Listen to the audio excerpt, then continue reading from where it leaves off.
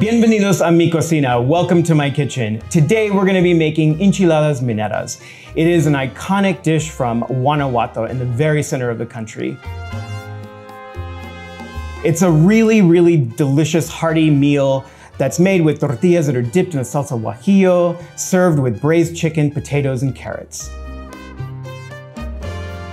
Mi Cocina is a story of where I went, what I ate, and how to make it. And this was an amazing meal.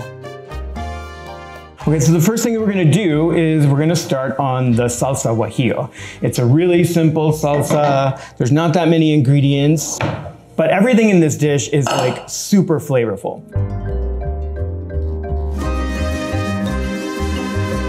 What I'm doing now is I'm just taking the stems and seeds out of the chilies. So the guajillos are really earthy. They give a really beautiful red color to the dish and the cascabeles are a little bit more spicy. Usually the guajillos are pretty common in most grocery stores. If you can't find them, you can use uh, New Mexican red or Californian red. You really just want that color and there's like an earthiness. It's almost like a sweet paprika type flavor. The cascabeles are gonna give us a little bit of heat, so if you can't find those, then you can use uh, chile de arbol, a little bit of cayenne, or a little bit of red pepper flakes. Whenever I am using dried chiles, I typically remove the seeds because they're a little bit woody. And if your blender isn't really super strong, you may actually get little pieces of the seed in there. But more than that, they will actually add a little bit of a tannic flavor to your salsas. And then I'm using two garlic cloves. And the beauty of this salsa is that you literally just throw everything in the pot. And then I have some black pepper, oregano, and salt. And I made some homemade chicken stock. I use a lot of chicken stock in this book and to me, it just, there's nothing better than, you know, having that as the base of your flavor.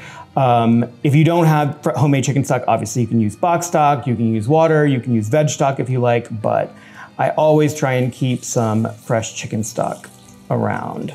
Okay. So now all we're gonna do is take this to the back and bring it to a boil. And then once this comes to a boil, we will cover it and let it sit for about 30 minutes and all of the chiles are gonna soften up, everything in there, all the flavors are gonna meld together and then we'll blend it and it's good to go.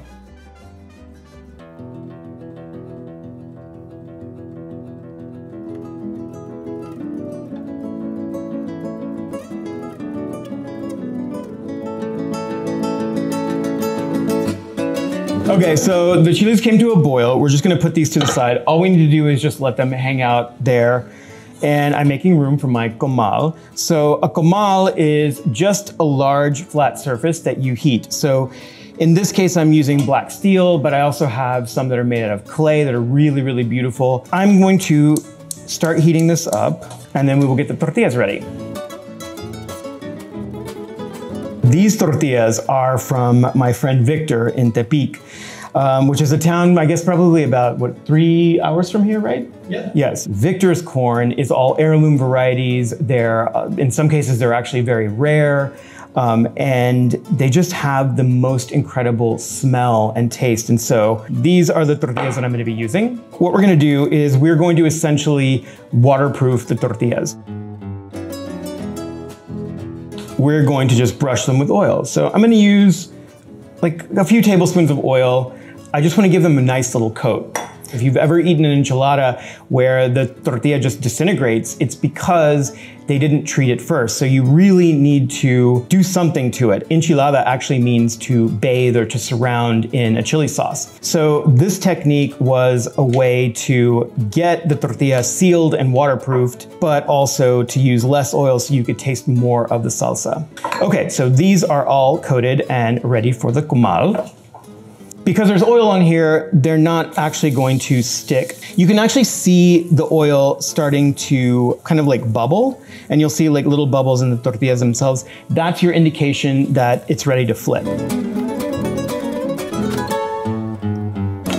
One of the things that I, I wanted to do with all of these recipes is I wanted people to like not feel bound by the written word. Like I want you to experiment. I want you to make these recipes your own. There, now we have Tortillas for everybody.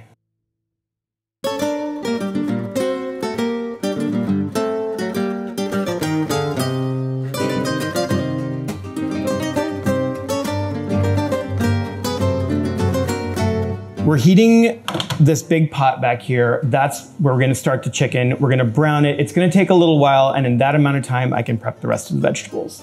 I'm gonna add a little bit of vegetable oil. So this will be about two tablespoons. I just wanna coat the bottom of this, of this pan to make sure that the skin doesn't stick.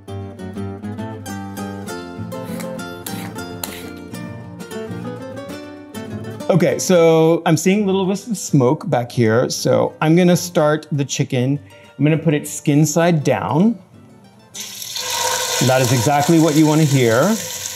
One of the things that I tell people whenever you're doing any meat or anything where you wanna get something really crispy, the skin, is you just need to leave it alone.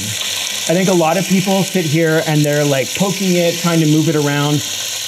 And then they're like, oh my God, it's stuck. What am I supposed to do? The chicken will let you know when it's done. So you basically put it down and then just walk away and let it just sit there for, you know, six to eight minutes. And then when the chicken skin has rendered its fat and is really, really nice and golden brown, it will release itself from the pan. Let it do its thing and we'll come over here and we'll keep prepping.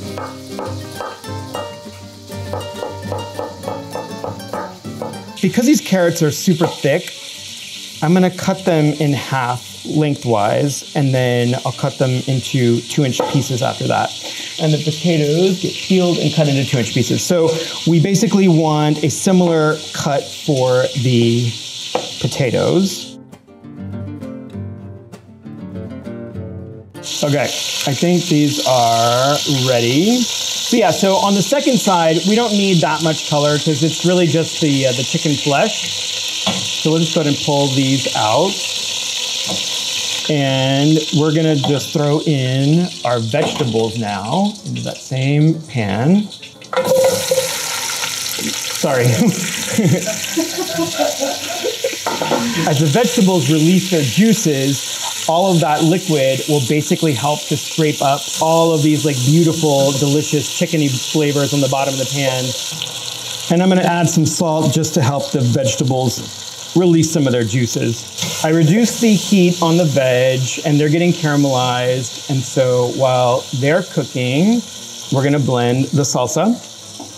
So these chiles have been sitting in this chicken broth. Oh, wow. Oh my God, smell that. Ay, rico. Okay, everybody smell. um, so actually, you can see like the chiles are really soft. This is what you're looking for. I don't like to boil mine. I actually just like to steep them. So you bring the, the water, or in this case, broth to a boil, and then they get really, really soft. I find that if you boil them during this stage, um, they just start to lose their flavor. And I don't know, I don't think it's necessary.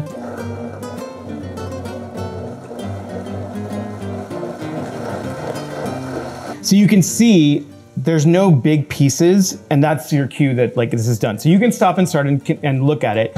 Um, it was about a minute on high, and normally I tell people when they're making salsas in a blender, don't blend it on high because you incorporate a lot of air.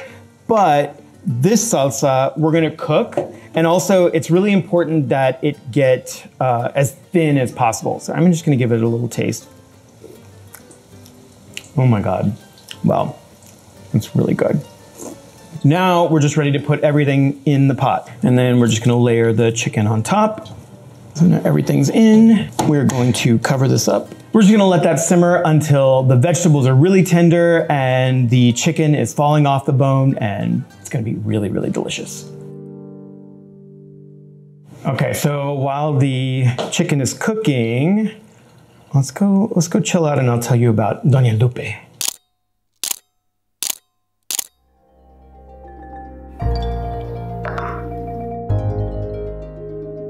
Guanajuato has always been one of my favorite places in all of Mexico.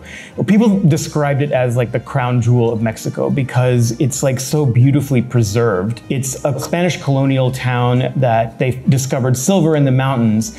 And so it was a very wealthy town. And so a lot of the Spaniards that moved there built these incredible haciendas in the 15 and 1600s. And I hadn't been in 20 years. And so I had posted on social that I was heading to Guanajuato and I'd asked for recommendations of where to go and what to eat. And literally every single person that wrote me back said, You have to go to Doña Lupe's she makes these incredible enchiladas mineras. And it was a little bit hard to find. And so, one thing that I'm very good at is finding things with my nose. And so, I just, I literally was just like walking these streets and just smelling the air. And I found this like unmistakable scent of guajillos and chicken. And I was like, I bet that's it.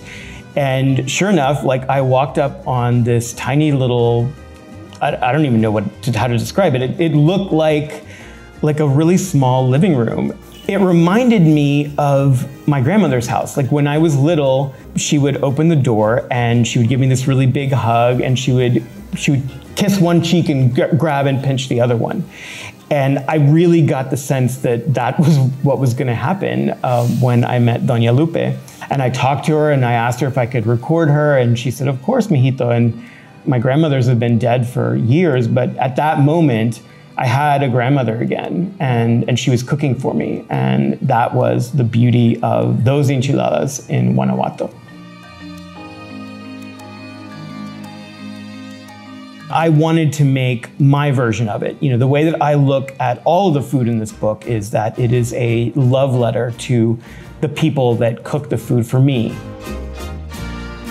because Mexico is so beautiful. It's so full of talented, creative, passionate people that are cooking because they love it and they want you to love it too. And there's no way to replicate that in a book. The best way to do it is just to go and meet that person and eat their food. Okay, so the chicken is done. And we're going to stir in a little bit of cider vinegar, and that's just gonna wake up all the flavors. All right, so you can see how beautiful this sauce is. Mercado Pino Suarez is like the place that I buy, I would say 90% of all of my ingredients. And there's one vendor that has the best dairy. They also have the most incredible manteca.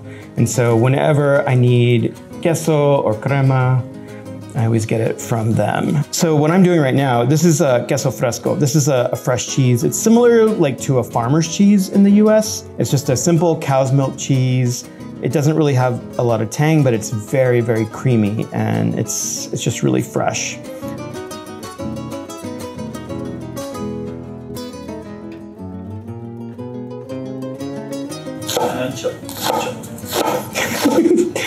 and we have sound effects by Jerry. Okay, so that is everything we need, and now we can start assembling.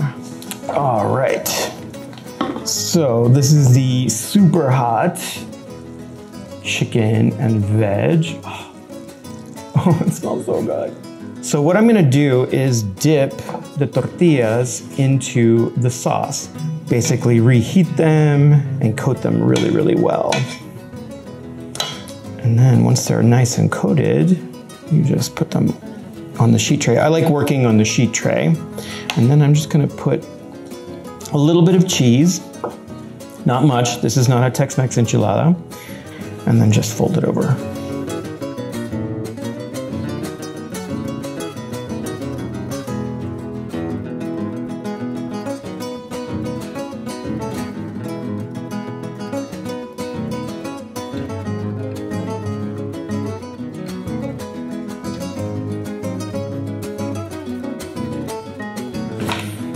The woman that, that styled the food for the shoot is, I, she's amazing. All right, Caroline's is better. Caroline, you're a genius. I love you. I wish you were here.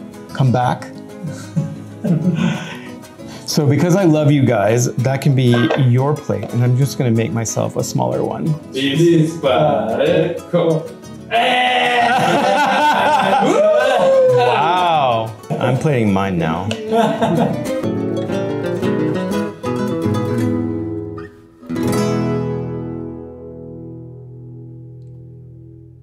Mi Cocina hits the stands on May 3rd, 22, so make sure you order your copy. And also, make sure you hit like and subscribe, and you will be notified as soon as there's another Mi Cocina episode. Okay, I'm switching. This is your guy's plate, or I guess Jerry's. Is he gonna eat the whole thing by himself? Like, are you eating the whole plate? Wow. Okay, well, you know, live your life. All right. Oh.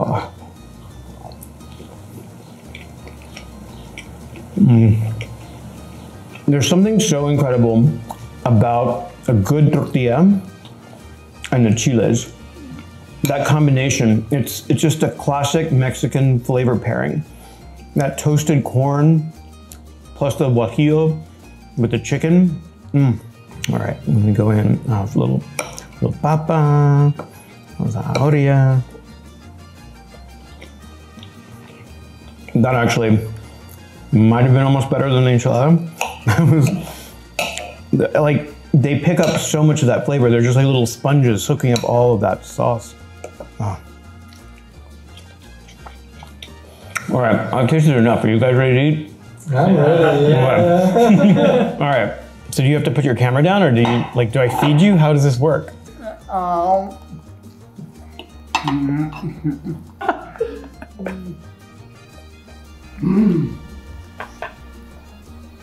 Do you mean to cut it for you? Like, how are you gonna do it? do, you, do you mean to put the Easyrig on? sure.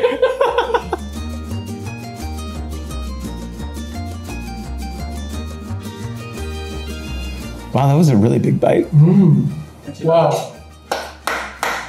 Thank you for inviting me to your cocina. Thank you. That's it for this week's episode. I really want you to try this dish. Obviously, it's a crowd pleaser. You can adapt it using whatever vegetables you like. You can actually you don't you can even make it uh, vegetarian if you want. Swap out the chicken for a squash or other vegetable that you really are into. And next week we will be traveling to Oaxaca, Chiapas, and Guerrero to make some tamales. Stay tuned.